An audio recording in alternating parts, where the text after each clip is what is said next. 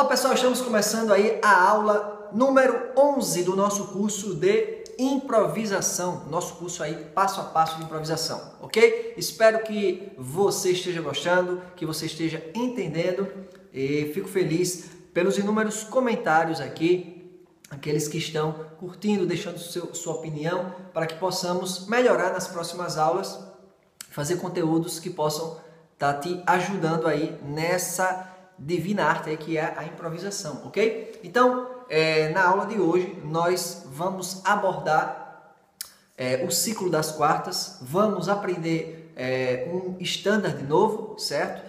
E muitas outras coisas bem interessantes, ok?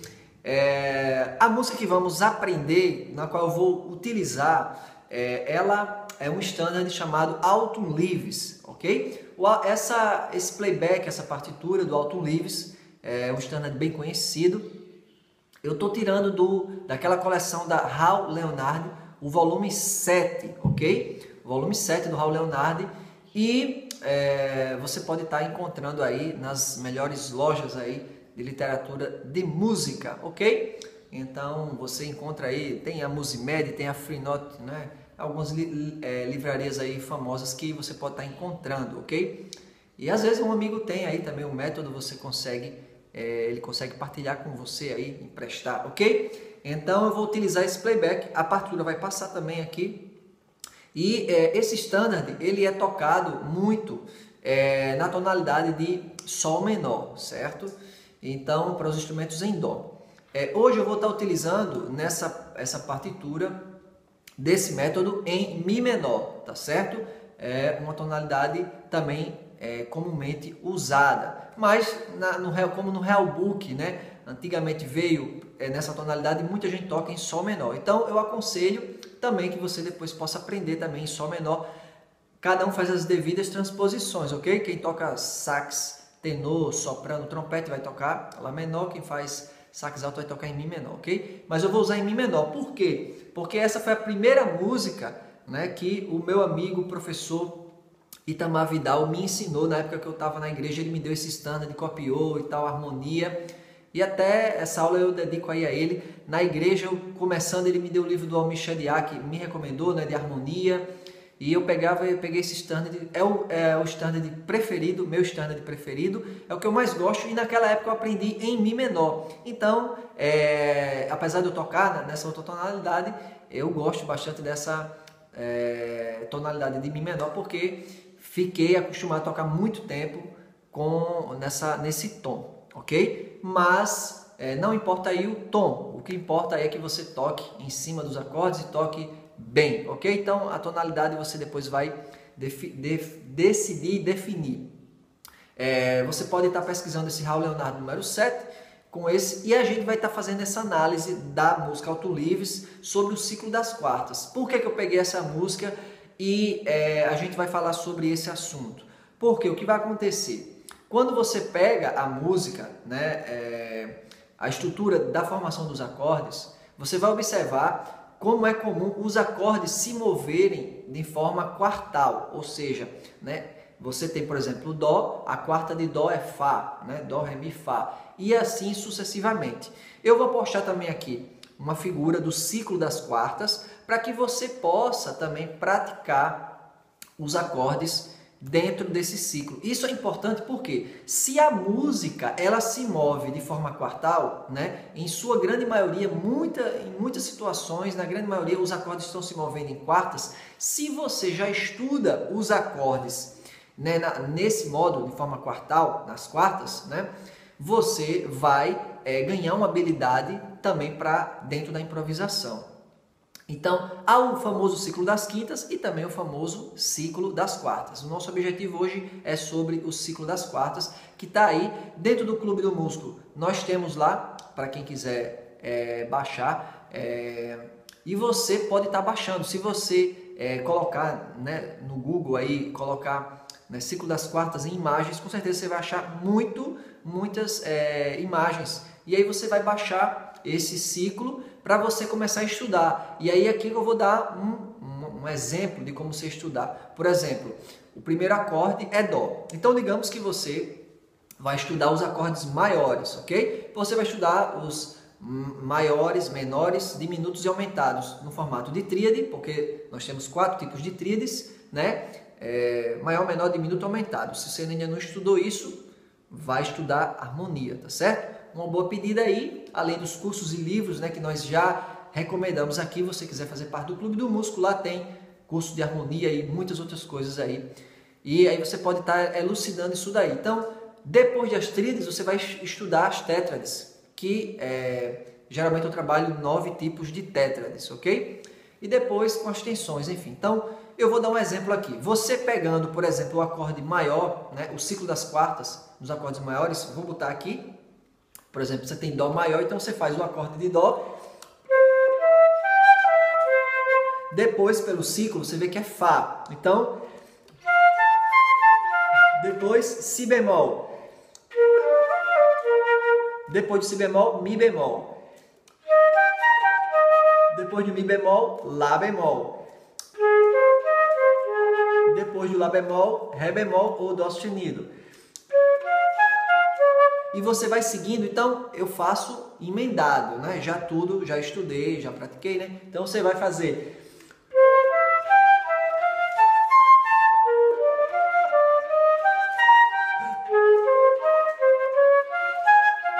E assim você vai fazendo todo o ciclo, com maior, depois você faz com menor. Depois, se você apressar, você vai ver como vai ficar interessante você fazer.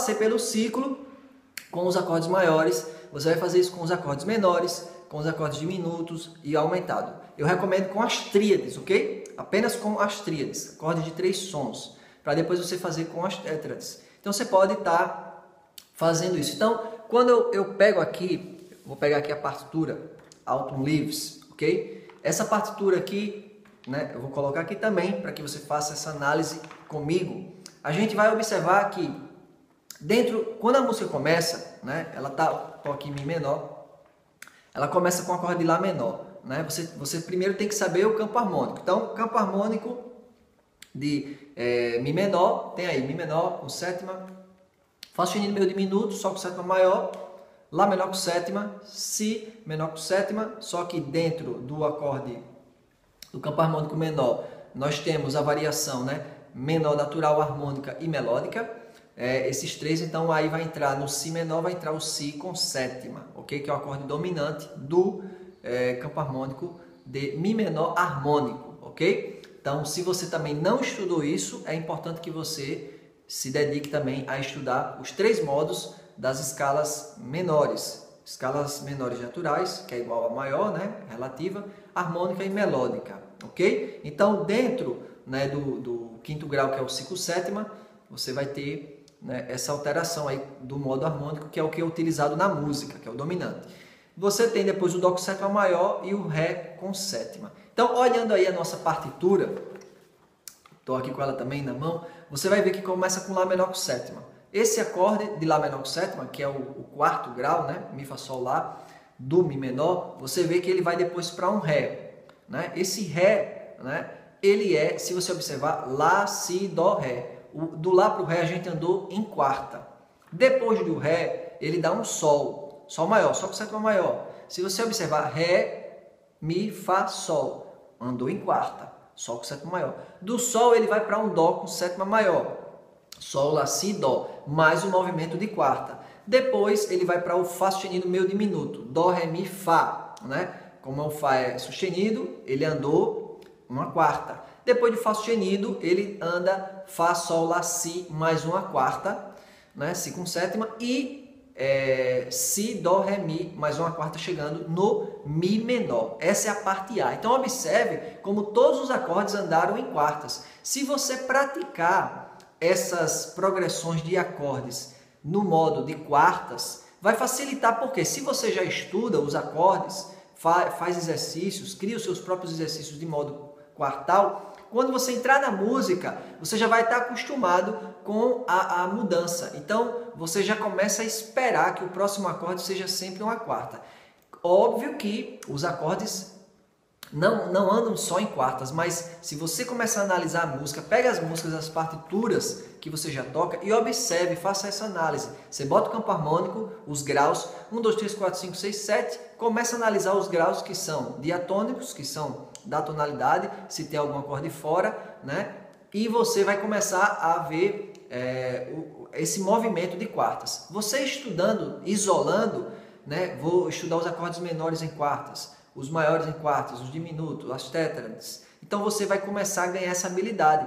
Então observe como é interessante. Quando a música vai para a parte B, né, ela vai aqui Si com sétima, e aí ele vai, é, pega dominante, e depois ele resolve no Mi menor, né, que é, é o movimento de quarta. Do Mi ele faz todo o movimento igual como se estivesse no começo. Lá menor com sétima, do Mi para o Lá é uma quarta, do Lá para o Ré com sétima também é uma quarta, do Ré para o Sol é uma quarta, do Sol para o Dó é uma quarta, do Dó para o Fá sustenido é uma quarta, do Fá sustenido para o Si com sétima é uma quarta, do Si para o Mi menor é uma quarta.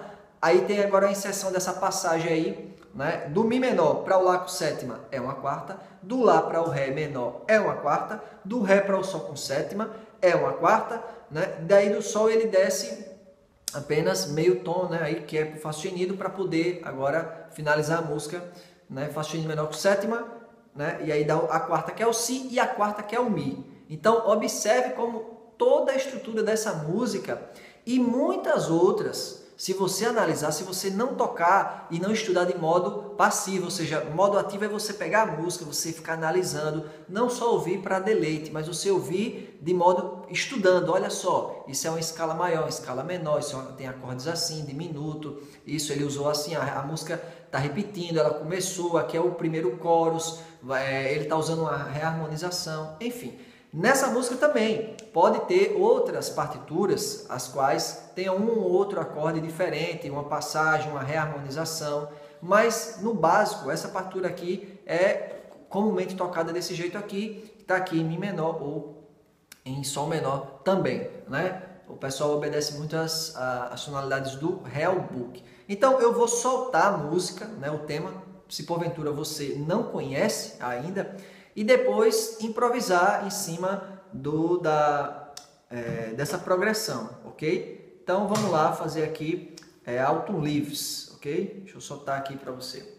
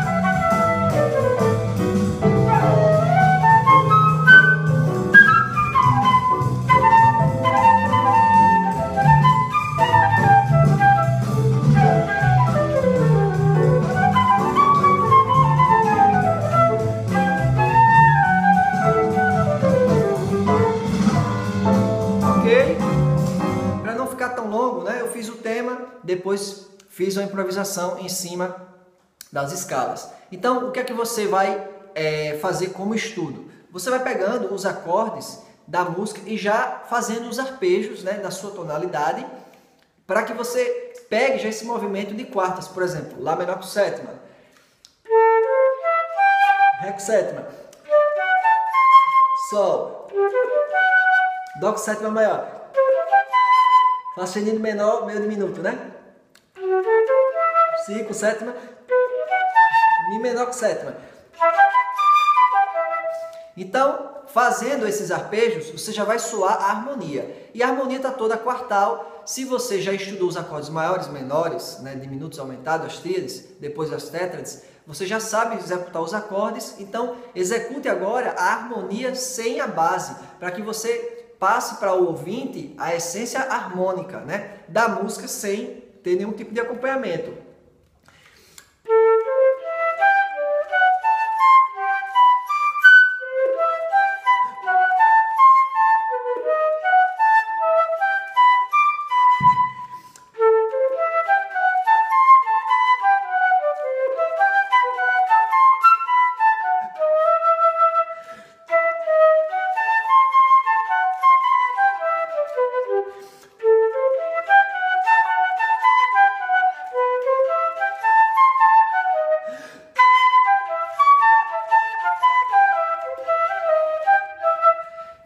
Os acordes, é, fiz ele começando na primeira vez da tônica, né, sempre subindo, é, tônica, terça, a quinta e a sétima, Ré, Sol, Dó.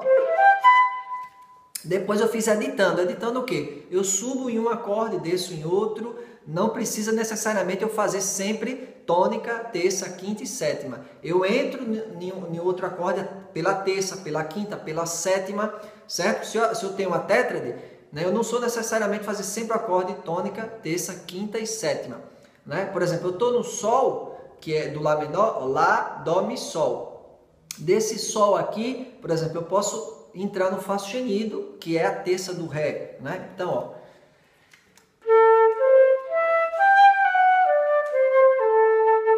Desse Fá sustenido, Ré, Dó, que é a sétima, e Lá. Entendeu? Então, eu fiz aqui, ó. E vou entrar no Sol de modo Sol, Si, Ré, Fá. Ele é, na, na, na posição fundamental. Aí vou entrar no Dó com sétima maior, tocando a terça do Mi. Mi, Sol, Si, Dó. Então, fazendo que, eu, que a gente, esses quatro acordes, ficaria...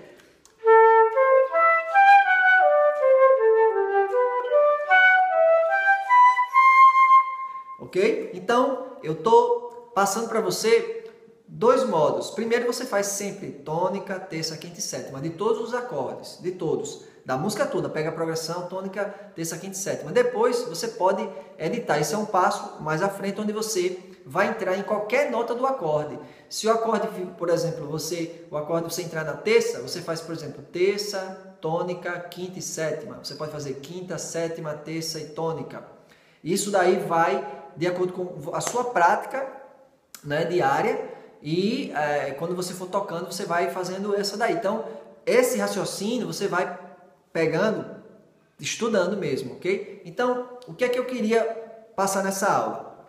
Você vai pegar aí a Auto Livres, certo? A partitura, você vai tirar o tema, né? A sua missão.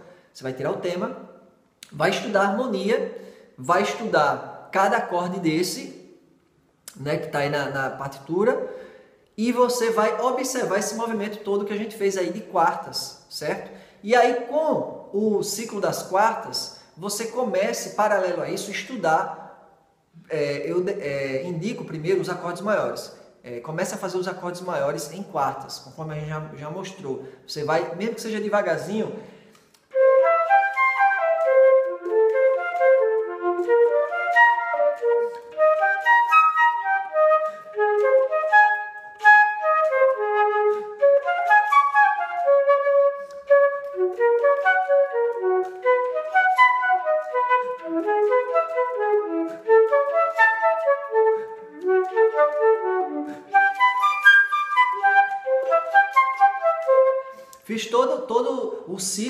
quartas já decorado, consigo fazer, fiz maior. E você depois pode fazer, é, criar né, o, seu, o seu estudo. Você pode fazer ele de várias formas, tem vários estudos com o ciclo das quartas. Então você tem que dominar esse ciclo, certo?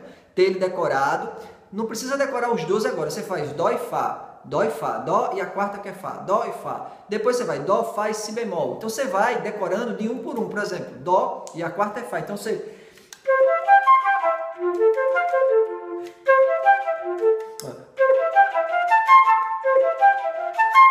agora eu vou inserir o Si bemol, que é a quarta do Fá. Novo. E assim vou inserindo. Eu digo, ó, já tenho o Dó, o Fá e o Si bemol. E agora eu vou para a quarta do Si bemol, que é o Mi bemol. Eu sei que às vezes a mente pode sair fumaça, mas é, no, é normal. Até você decorar, demora um tempo, você tem que ter calma.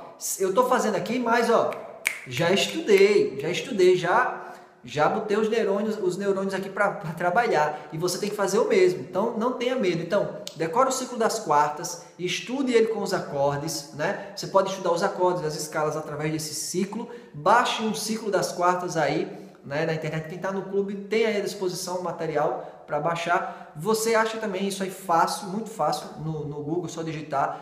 Se você quiser aí, adquirir o volume do Raul Leonardo número 7, eu estou usando esse alto níveis de lá, certo? Pega o tema alto níveis, observe o movimento quartal, tira o tema e faça a harmonia, né? Ah, isso que a gente já passou nas outras aulas. Você passar, tocar a música, eu faço a música sem, sem o playback, né? Fazer, por exemplo... É.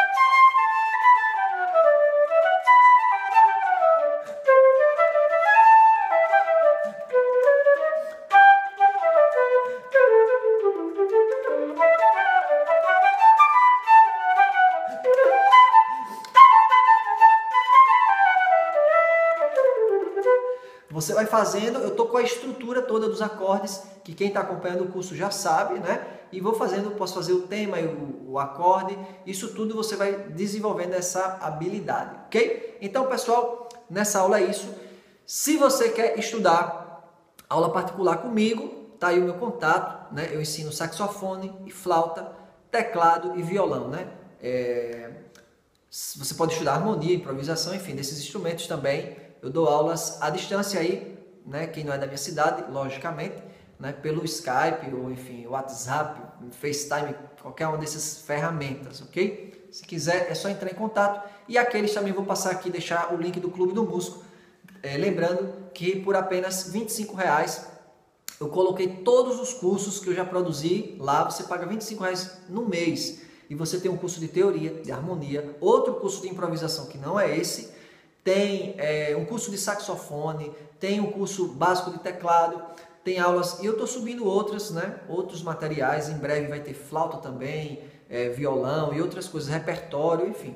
Toda semana o professor está botando alguma, alguma coisa lá. Se você assim desejar, vai ser uma honra também tê-lo lá, ok? Mas divulgue aí para os seus amigos o curso. Se você gostou, deixa aí o seu like, aí, o seu joinha né, e deixe o seu comentário, a sua dúvida, para que a gente vá é, nas próximas aulas criando né, é, essa linha condutora de improvisação e melhorando cada vez o conteúdo, deixando mais acessível para você que está estudando, ok? Então eu desejo sucesso nos seus estudos, né? que Deus te abençoe, forte abraço e até a próxima aula.